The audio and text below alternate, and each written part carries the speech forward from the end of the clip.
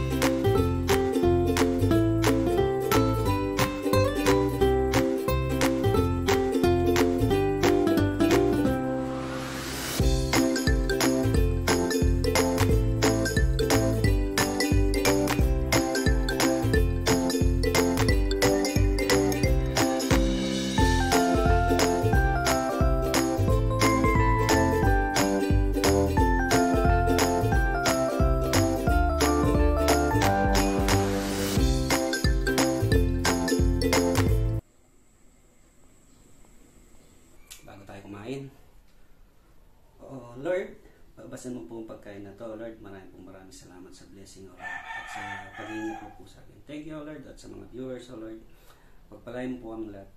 Amen, O Lord. Uh, lambot. Grabe. Sausaw. Mm.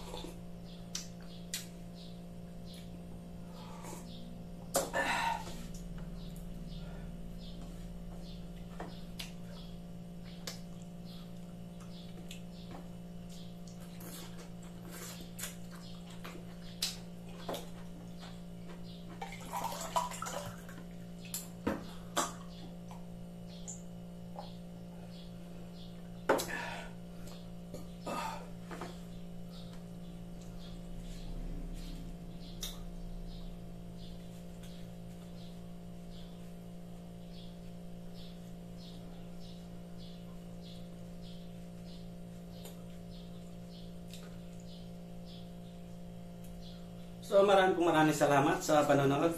Hanggang dito na lang muna video. Abangan na lang sa susunod na video.